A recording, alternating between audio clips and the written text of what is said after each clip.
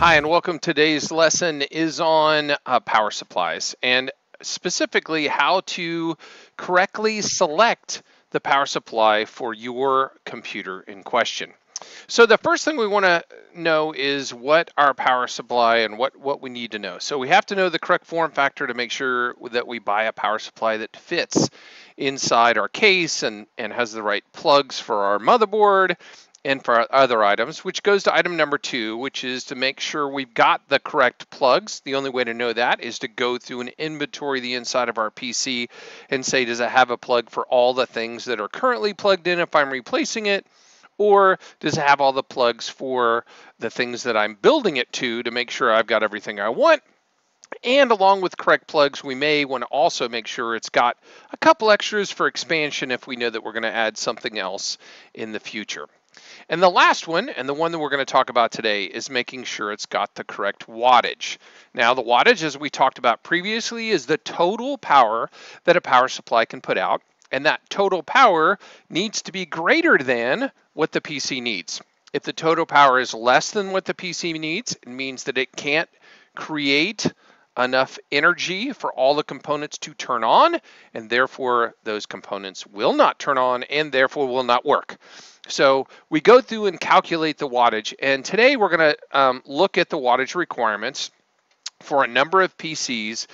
And each PC, we have to look through the entire specifications of the PC because we're going to be looking at some online PCs to decide what wattage power supply we want to get for that particular PC. So in order to do that, we need to know what's in the PC and what the requirements are for everything inside the PC because everything in the PC contributes to the total power that the power supply has to create. So we're going to take a look at those. Now, there's a lot of different power supplies out there. These power supplies have different form factors, they have different plugs, they have different wattages, and they have a wide variety of costs. You can see they can go as low as $20 and as high as $400. What we need to do is figure out which one's the right one for us. So to do that, we've got first of all some terms that I'm going to use throughout this section of the class that you need to understand. The first one is calculated. We are going to do some math, and it's all addition and multiplication, nothing overly hard. And we are going to calculate all the individual parts together to figure, figure out the calculated wattage of the PC. So calculated means, and this is whenever I use the term calculated, it means the wattage that all the parts of the PC together calculate to, what they add up to, okay? Anything below calculated theoretically will not work. That PC won't turn on or some component won't start or it might start, but it'll burn out faster or turn off after it's been going for a while. So below calculated, the power supply will burn up, fail, die, power off, cause issues, make us, uh, supposed to say mad, not make us may. Um, so calculated is the number we're first going to figure out.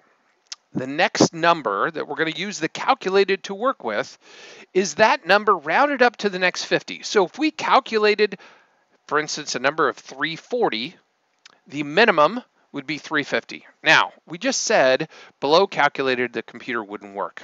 However, they don't make ones that are 340 watts. Most power supplies, most, not all, are in 50 watt increments. They sell 300s, they sell 350s, they sell 400s, they sell 450s. So you're going to round up to the nearest 50 to the next 50. We're rounding up to say that is the minimum wattage of power supply that I'm going to look for to buy. So whatever I calculate, that's a number. Then I round up to the next 50 or the nearest 50. That's the minimum wattage that I'm willing to accept. If I look at a computer online and if it meets the minimum, my computer will work. Okay, that's what the minimum is. My personal recommended is that minimum, minimum number plus 50. If I add 50 to the minimum, uh, it's going to run slightly more efficiently. I'll be able to add things like memory and hard drives without any problem, a couple fans. So I'm going to always recommend that you get the minimum plus 50 So the minimum plus efficiency, this allows a buffer uh, and it's above minimum, realizing that I would recommend even higher than that possibly because the last term, so I've got calculated that I figure out, minimums I rounded up to the next 50, recommended I added 50, and then efficient. Efficient is a whole different thing. And here's, here's why efficient is different. If we looked at all the power supply ratings that we looked at last class, and we looked at those, and if you look at where is it most efficient, all of the power supplies, all the way up until you get to titanium, which are the rarest, most expensive power supply, all of them are most efficient when they're at 50%. So the platinum gets 92% efficiency if it's at 50%, only 90 at 20, and only 89 and 100, meaning that the, the best efficiency for almost every power supply is half the load, half of what you calculate. Okay, so when I look at that, when I say what's the most efficient one I would buy, I'm going to multiply the calculated by two and then and then go to the nearest 50. Okay, so if I come up with 782, when I double it, I'm saying an 800 watt power supply would be the most efficient one. Um, so and I I didn't so it's rounding up to the nearest 50 there. That's that's efficient. So I need to understand those those four terms because I could give you on your test, for instance, a, a PC link and say, hey, what's the recommended power supply for this? Or I could give you that and say, hey, what's the calculated power supply for this? Or I could give you that same PC and what's the most efficient power supply for this? So you need to understand all of those. I'm gonna buy one of these two, meaning that the minimum, the, the lowest wattage, I shouldn't use that term, the lowest wattage when I go to, go to buy is gonna be that recommended. And I'm gonna buy anything between there and the most efficient. Anything in that range is where I'm purchasing. And I'm honestly going to buy probably the least expensive that's between recommended and efficient, unless they're really close, which they're not going to be. But if they're really close, I would obviously want to go uh, personally with a more efficient power supply. So that's that's the terms you need to understand. And then now we're going to get to how we figure those things out. So initially, we're going to use a laundry list, and this is a uh, a way that I like to teach students to do it first because um, it lets you see and understand more clearly how they add together. Um, so today we're going to use this wattage worksheet. Uh, the sub has a whole bunch of copies already printed out that he's going to hand out uh, for you guys, but we're going to walk, I'm going to walk through this and show you how to use the wattage worksheet. So basically we're going to use this like a laundry list when we're looking at a PC and we're going to add all of them together to figure out our calculated value based on the PC in question. So let's let's take a look at this. So the first thing it says motherboard includes the basic CPU, fan, keyboard, and mouse. So every every single PC that we look at is going to start out with 100 watts. Then for every stick of RAM, we're going to add five more watts to our requirement. Then we're going to look at our, our CPU to see how much it's pulling. And just so you know, that this wattage worksheet is based on uh, some flatline values. There's going to be some that, that are far more, some that are a lot less. It's just to kind of get you to work through the, the issue. And if if you use this, you would be safe um, uh, with almost any computer that you buy. So looking at this, I look at my CPU and I said, how many cores does it have? If it's got one to eight cores, it's going to use 100 watts. Nine to 16 cores, it's going to use 200 watts. And if it's got over 16 cores, I'm saying 250 watts. And we're continuing to add these together. Okay. The next one I've got on this list is a graphics card. What kind of graphics card does it have? Now, if it's integrated, if we're not going to add a separate card, then nothing because it's part of the motherboard. Um, if, however, we're adding a card, if it's a low-end graphics card, it's uh, 50 watts. If it's a mid-range, it's 150. And if it's a high-end or specifically has the word gamer on it, we're going to call it 250. And some low-end gamer cards do not use 250. And in the problems I give you, I'm generally going to tell you, hey, this is a mid-range graphics card or this is a high-end graphics card because we haven't done the graphics chapter yet and you don't know how to rate those. So I'm going to tell you, well, you're going to either have to find out is it integrated or is it low end, mid range, or high end is going to be something I'm going to tell you. But on all the cases, if it says gamer, we're going to say it's a high end. And then we've got the drives that could be in our computer. Does it have a CD uh, or a CDRW? Does it have a DVD or a DVD-RW? Does it have a Blu-ray? Does it have a conventional HDD spinny hard drive? Does it have a solid state drive? And those are the wattage values that those pull. Most of them are not going to have 10K high-speed drives. Um, they're going to be standard conventional. And then what other things does it have? Does it have any other cards in it? How many extra cooling fans does it have in it? How many other USB devices or is your systems going to require, and we're not going to have those on any of these you're working on because the keyboard and mouse is already included up here. Um, does it have a dual fan CPU cooler like the one that I showed you in my classroom? If it's got two fans, we're going to add another uh, five watts for that second fan because we already saw here fans. I'm only saying three, but because it's a CPU cooler and it might go really, really might be working really hard, we're, we're saying five on that one. And the last one is it if it's got a water cooling system, it's going to be 25 watts. So that's what the worksheet looks like. The next thing we're going to do is take a look at a PC and look at how we can look at those things to figure out that. So again, what we're trying to do is we're trying to figure out the calculated value of all the things that are pulling power in our PC. And then we're going to round up to the nearest 50 to get the minimum. And then we're going to add 50 to say this is recommended. And then we also had that most efficient value, which is calculated times two, rounded up to the nearest 50, because we just said that power supplies are most efficient when they're at half load. So again, just so everybody understands that, if we need 400 watts and we put in an 800 watt power supply, it uses less power than it would if we put in a 400.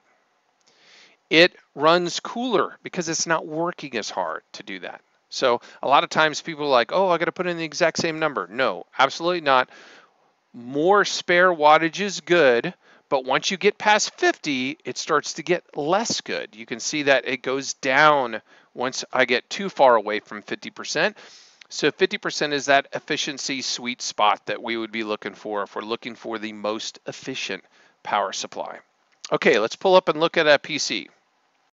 Okay, I am always going to use Newegg because although Newegg is not where I necessarily buy everything, uh, Newegg has the most information of any of the purchase sites. Uh, it fa is far better than Amazon, and and many times I'll um, shop at Newegg and then go look for the item at Amazon to see if it has a less expensive price, especially considering I can get it tax free for the school at Amazon and usually shipping is free, but Newegg has the best information. So we're going to look at this HP desktop for 539 on Newegg right now.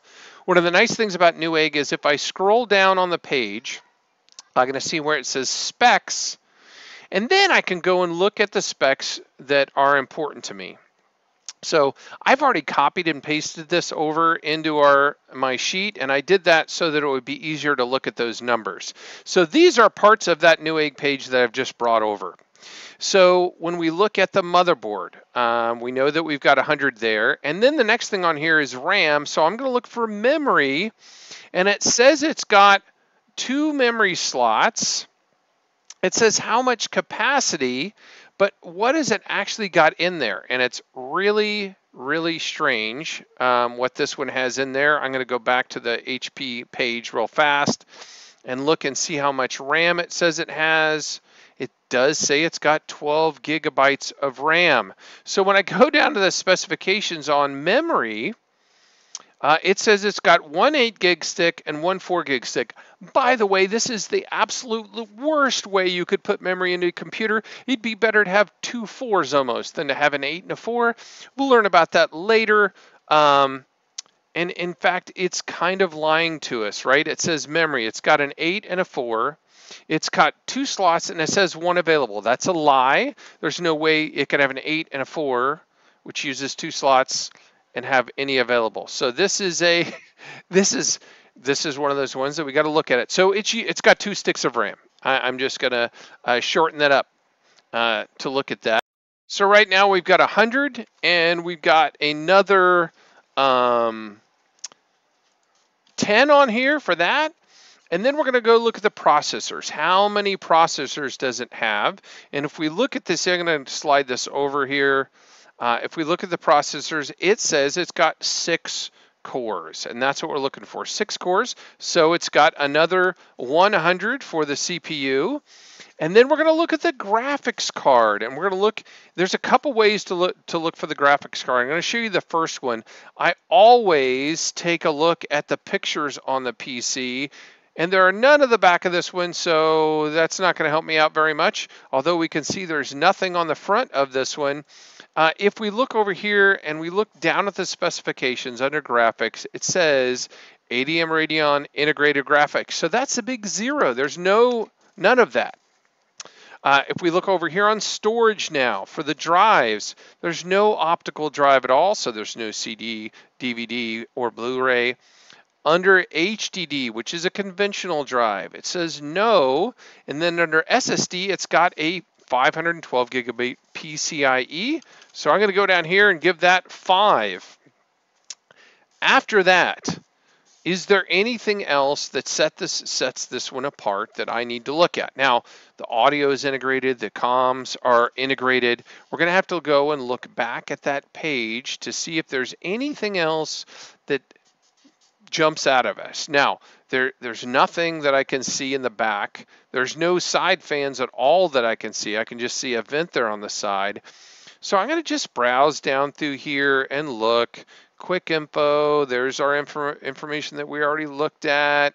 And we can see right here the power supply in there is 180 watt gold rated power supply. We'll see if that meets our recommendations. Um, going down, going down, going down. I don't see any mention of any other fans or anything else. So we are done with our calculations. So we've got 215 is what came up with calculated. So calculated for this one equals 215, which would make our minimum, we round up to the next 50, that'd be 250 and our recommended would equal 300. And if we wanted to do our most efficient, multiply our calculated by 2. If I could spell that right, there we go.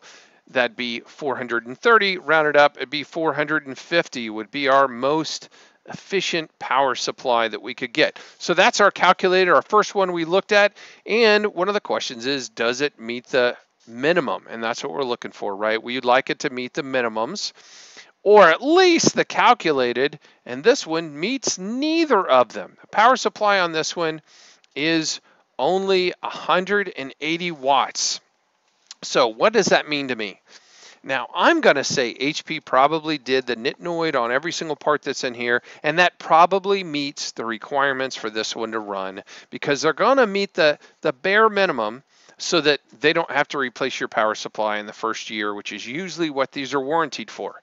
However, I only have one 512 gigabyte hard drive. I don't have a video card.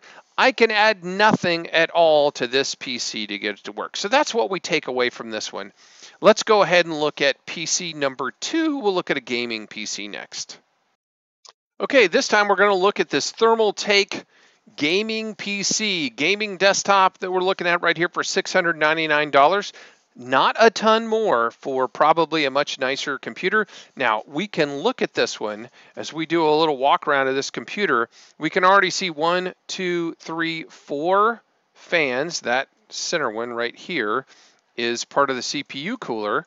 Let's see if we can see anything else. We obviously see it's a gamer. We're going to have a high-end video card on this one. It does a bunch of di different colors. That CPU cooler, if I look at it, only has one fan. That's just the one. It doesn't have one on the other side. Um, let's see what else we can see. Looking at the back, this is a 3U No, it's a 2U, it uses two slots for a video. That's just a card that was put in there. Uh, we can see that this one's going to have Wi-Fi.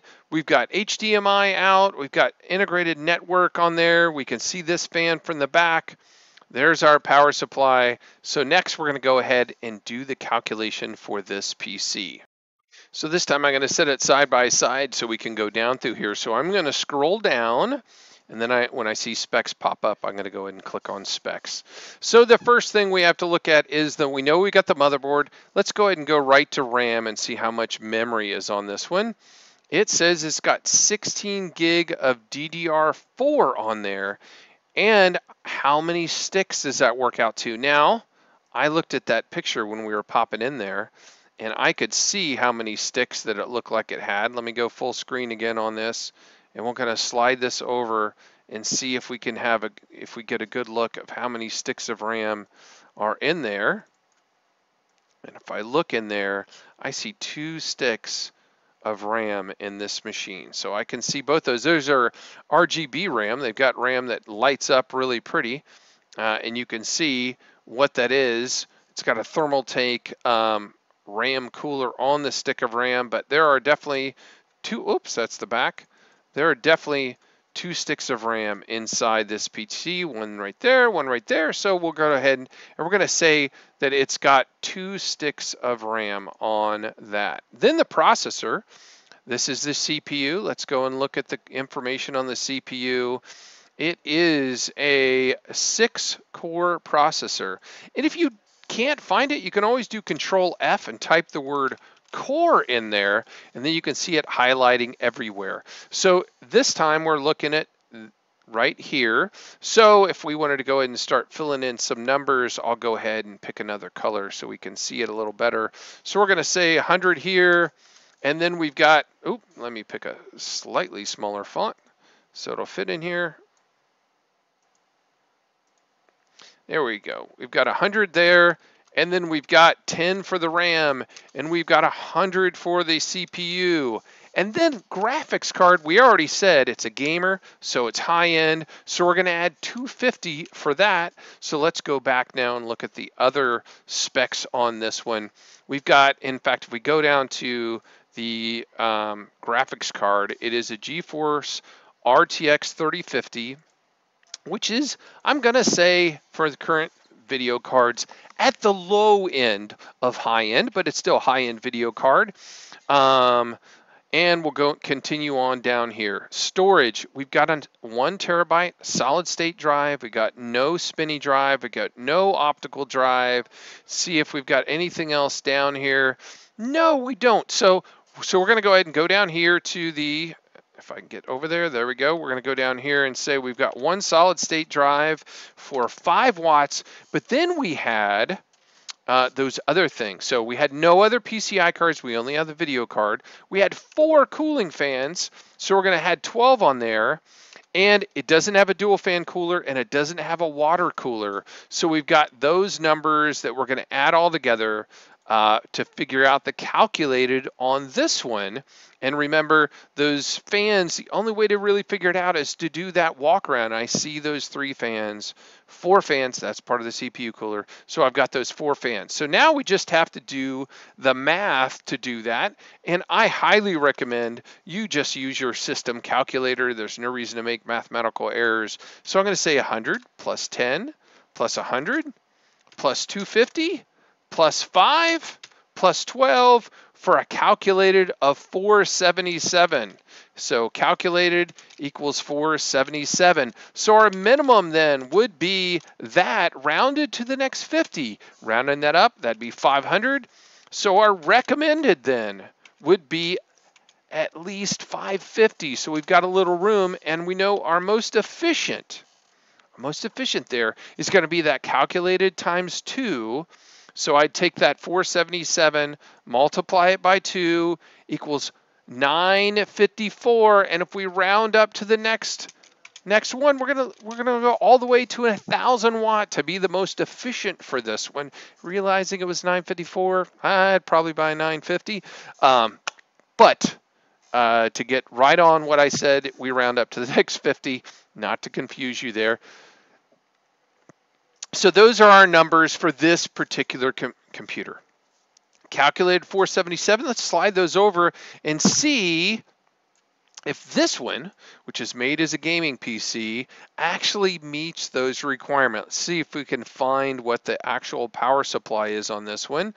Brand, no, processor, processor. This one's got a 600 watt power supply. So it definitely meets the recommended. In fact, it's 50 above the recommended. This is a nice size power supply for this gaming system that we're looking at buying.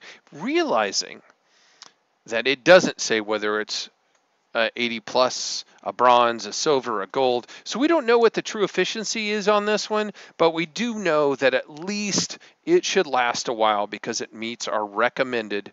That's really what we're shooting for, recommended or above on the power supply. So let's do one more example, and then after this next example, you're gonna work your way through the quiz, and the quiz is five different PCs, and you're gonna use this sheet to go to a PC, to try to figure it out, and you can talk with your neighbors as you do this. Um, you're going to do the calculated for the rest of the class on the five PCs to figure it out. So let's do one more first. Figure we might go crazy on the last one. This one is a 24 core liquid cooled AMD Threadripper for $5,199 and we'll see whether this one actually has what's required to make this sucker work well. Let's take, uh, we don't have a lot of pictures.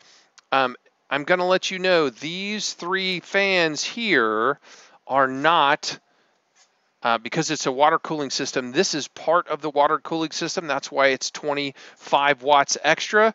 That's what this right here does. This is the CPU. It's got a water cooler right on top of there. It's only got one case fan. Oh, can, are these case fans in the front? Oh, I think they are. They're not lit up though.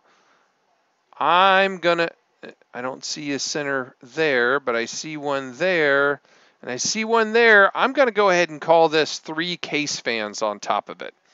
So let's go ahead and shrink ink this down, go to the specifications, and take a look at what this one has. First of all, again, we've got 100 watts on the motherboard. Let's go down to the memory. It's got 64 gig of RAM. And this one's a hard one because it doesn't specify. And I'll try not to give you ones that don't have good pictures. But if we go and look at this picture, we can clearly see those are that, well, clearly fuzzily see, those are the four sticks of RAM. So this one has four sticks of 16 gig RAM. So we're going to use four for that number right there. And let me scroll back down again to the CPU. This is a Ryzen Threadripper 24 core. It even says this right up here. It doesn't say it down here in, in this list, but it's 24 core. So we're going to use 250 watts for that. Let's go ahead and take a look and see what the graphics card in it. It's got an NVIDIA RTX A2000 video card. Now I had to look this one up. This one says power consumption is 70 watts. We're going to consider this a mid-range card. We're not going to use that 70. We're going to use this 150, sticking with our sheet. But I had to look it up because I hadn't seen this video card before. It's actually a pretty decent video card. This is this one is probably made more for graphics design people. We're going to use the mid-range number for that one, even though when I looked it up, it says 70 watts as I look at that. As we go down here, storage, it's got two hard drives. It's got a one terabyte PCIe and that's a solid state. And it's got a 10 terabyte hard drive as well. I don't see anything else on here. So let's start working our numbers over here on the left-hand side with what we just figured out. I'm going to go ahead and make this color red again so it makes sense. So we say we've got 100 here. We got four sticks of RAM, so 4 times 5 is 20. We've got 24 cores, so we're going to add another 250. We got a mid-range graphics card, so we're going to add another 150. That's from right here on the mid-range graphics card. We've got a conventional drive for 10, 10, and we've got a solid state drive for 5. And we've got four, three cooling fans for 9. And we've got a CPU water cooler for 25. So I'm going to go ahead and pull my calculator up again to figure this one out. So we've got 100 plus 30 plus 250 plus 150 plus 10 plus 5 plus 9 plus 25. 579 watts is our calculated. So I'm going to say calculated equals 579, which makes our minimum equal to, rounding up to the next 50, 600. Our recommended equals 650 because we added another 50. And our efficient number is even going to be higher. If I go back to my calculated, multiply that by 2, we've got 1158, which means our most efficient power supply is in the 1200 watt range on this one, which would be very expensive. I'm going to go ahead and pull this over, and we're going to look and see whether this very expensive, oops, I didn't type the 1200 in with that. How did I do that? There we go. We're going to see if this very expensive system, what number it meets for us. So I'm going to go to specs again.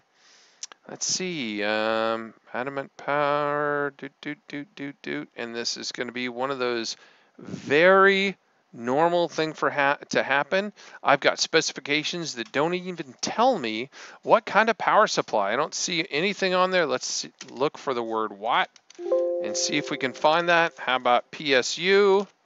See if we can find that. Thermaltake, oh, there we go. It's listed up in the top. It's got a uh, 1,000 watt, 80 plus gold power supply, so it definitely meets our recommended, almost meets our efficiency standards for the most efficient. It is an 80 watt or 80 plus gold, so that's that's great. It's one of the more efficient power supplies there. And yes, we're paying $5,200 to get that. And we could build one way better for way less money than that cost is right there. But hey, it's already built for us and it even comes with Windows 11. So there you go with three examples of PCs. It does take you going through the sheet. They're all going to have motherboards, they're all going to have memory, they're all going to have CPUs, and they're all going to have at least one hard drive. Most likely a solid state, might be a solid state, might be a, a spinny drive. In this case, we got both for our $5,200 plus a liquid cooled CPU, which is nice for that uh, particular thread Ripper 7960X CPU, which by the way, is one of the fastest CPUs made. Uh, if you look at the 7960X, it is the 29th fastest out of 4,862 CPUs. Uh, for multi-threading, it's the 74th fastest for single-thread operations, which you wouldn't buy this 24-core, uh, 48-thread uh, CPU for that. But we're going to talk about CPUs more in chapter five. Uh, I just wanted to bring you here, and that's part of the reason this one costs so much, uh, but it's still overpriced for what we're going to get for it. So that's how we calculate our wattages on our PCs. You're going to go through and do quiz 3.4 today, which is going to take you to links to CPUs. You're going to use that wattage worksheet figure it out, and then answer the specific question um, on those particular ones. If you're in a section that didn't get 3.3 done prior to today, you're going to obviously need to do 3.3, uh, the quiz, the lesson's been given, um, in order to unlock 3.4.